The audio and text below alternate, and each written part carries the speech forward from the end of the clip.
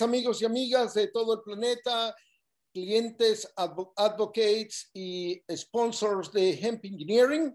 Hoy tenemos al politólogo Emilio Petrucci eh, desde Italia.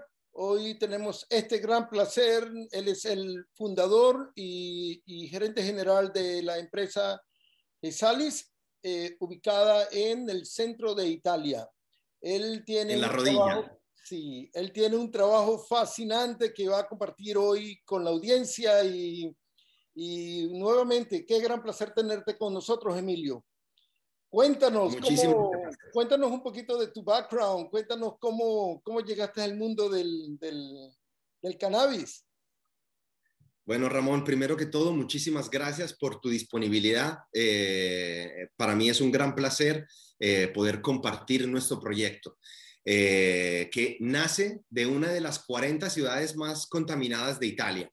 Y yo creo que por eso fue el motivo principal en que empezamos a eh, concentrarnos en el cannabis, porque nos dimos cuenta que esta planta podía eh, absorber metales pesados, anhídrido carbónico en grandes cantidades y ser transformada en, en procesos industriales útiles para sustituir o regenerar lo que es la industria del acero, siderúrgica y lo que es el petrolquímico, que son dos industrias muy grandes en la ciudad donde yo vivo, en Terni, que es en el centro de Italia, como tú decías, y tiene la forma como de, es un hueco prácticamente, es, una, es un valle cerrado por todos lados, eh, y esto hace que las industrias que están acá desde hace más de 150 años hayan contaminado el área de forma importante. Entonces, la necesidad de cultivar el cannabis y de estudiar esta planta fue porque nos dio miedo de morir a mí, a mis socios, eh, todos hemos perdido a alguien por eh, causas eh, de salud debidas a la contaminación ambiental. Y estábamos cansados. Claudio es un tecnólogo agroalimentar, Luca es un biólogo nutricional y juntos hemos decidido empezar este gran camino por ese motivo.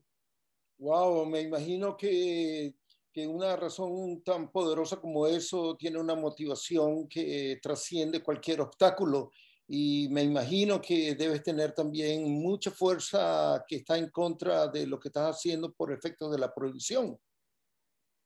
Correcto, Ramón. Eh, seguramente eh, ya del aspecto cultural lo, sabíamos, lo hemos enfrentado a lo largo de los años, de lo que es la distinción entre eh, la marihuana y el, el, cáñamo, que es la misma idéntica planta con utilizaciones y tipologías diferentes pero que en lo largo de estos años ha creado, eh, desde punto de vista cultural, muchos problemas. En este momento que nosotros hemos intentado eh, entrar en lo que es la sustitución del mercado industrial, siderúrgico, metalúrgico como petrolquímico, nos hemos enfrentado eh, a otro tipo de prohibición una prohibición no tanto enmarcada en el aspecto lúdico recreativo del, del, cannabis, sino en su potencial industrial porque todo lo que es la cultura industrial de este lugar, como de otros lugares alrededor de Italia, eh, ha sido, ah, me quieres, yo que trabajo acá, me quieres robar mi trabajo con tu producto vegetal. Lo vegetal nunca va a poder sustituir el acero o el petroquímico. Entonces, bueno, aquí nos hemos enfrentado a otro tipo de, de, de, otro tipo de prohibición y, que te digo como mm, em, estudiante eh, de sociología con otros colegas hemos intentado entender cómo y por qué se están desarrollando tantos eh, sistemas de odio eh, al frente de nuevas condiciones innovadoras, industriales y tecnológicas. Pero seguimos adelante. Y tengo entendido que han recibido hasta amenazas de, muerte y han inclusive atentado físicamente contra sus personas y sus propiedades. Eh, desafortunadamente sí, hemos sufrido bastantes robos, actos vandálicos en nuestras propiedades, em, amenazas físicas, eh, presiones eh, en los medios sociales a través de mm, perfiles ficticios o demás.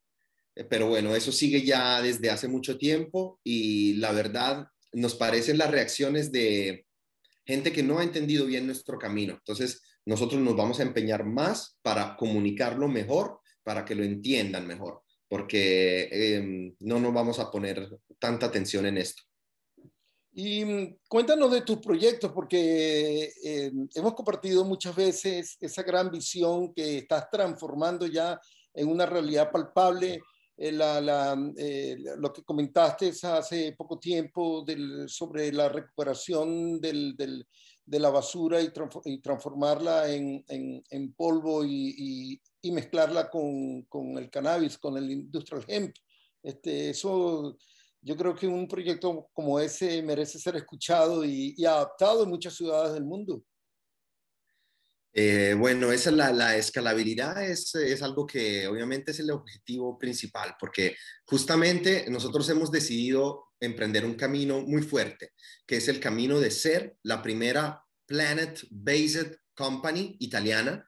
Entonces nosotros solo hacemos actividades, solo hacemos contratos, eh, ventas y demás con, personas, entidades o empresas que compartan con nosotros la idea de tener un impacto disruptivo a, favor del ambiente, positivo para el ambiente, para la sociedad, para crear una cadena humana fuerte a la base de todo el sistema. Luego le siguen los proyectos de desarrollo como Reviride, que en latín quiere decir renacer del verde, rinascere dal verde, eh, que va a utilizar nuevas tecnologías que pueden micronizar los desechos de la producción de la flor del cáñamo, que ahora en Italia es muy, eh, es muy desarrollada, y la producción de desechos de otras industrias, como la del neumático, como la de, de otras realidades, en las que podemos extraer, separar los materiales, la goma del acero, tanto cuanto el cáñamo, eh, la, semi, parte ah, oleosa, grasosa, de la parte fibrosa, y transformarla en un polvo muy sutil que tiene una alta concentración de celulosa y puede ser utilizado para mezclas y extracciones de bioplásticos y demás, eh, demás actividades. Por ejemplo, como la que comentábamos contigo de lo que tiene que ver con realización de baterías que tengan grafeno y, cannabis, eh, polvo de, cáñamo adentro.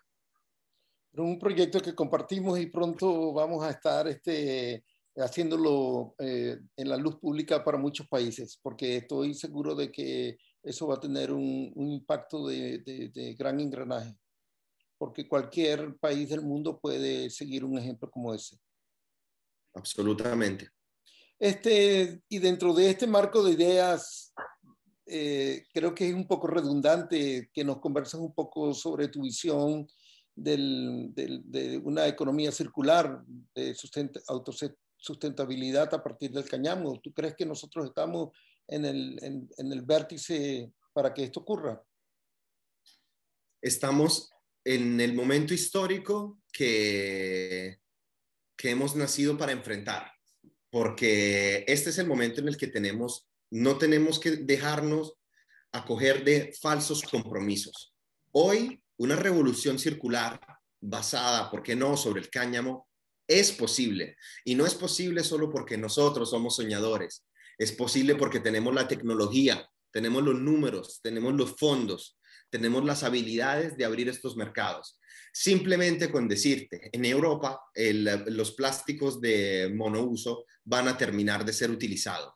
Y es solo el mercado del plástico monouso en Europa vale 300 billones de, de euros. Italia, por hacerte mi ejemplo, tiene el 30% de ese mercado. Con el cáñamo podemos sustituir exactamente ese tipo de producto. Ya se hace en mi ciudad. Lo hacemos con otros tipos de vegetales, con eh, maíz, con otro tipo de vegetales, pero ya hemos logrado los bolsos para hacer el, mercado en los supermarkets donde, y, son de, de base natural. Entonces, sí es posible. Si decimos hoy que no es posible, nos estamos negando, estamos diciendo algo que no tiene base ni científica ni emotiva de ninguna forma. Eh, es inevitable, va a suceder. Emilio, ¿tienes un mensaje que quieras enviar a, tu gobierno local o a, la, nuestra audiencia hispana en el mundo? Pues que con mucho orgullo, eh, yo he nacido en Colombia y soy feliz eh, y orgulloso de saber que, eh, que, Colombia está desarrollando muchas actividades y tecnologías y posibilidades para el desarrollo del cannabis y así todo el mundo hispanohablante, toda Latinoamérica.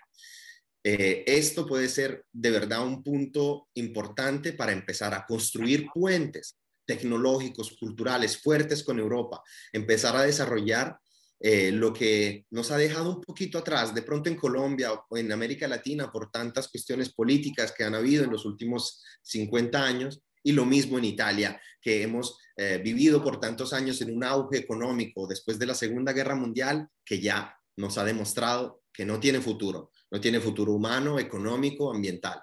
Entonces, estamos listos. Esto es una invitación para que acojan nuestra propuesta eh, y sigamos trabajando en esta dirección.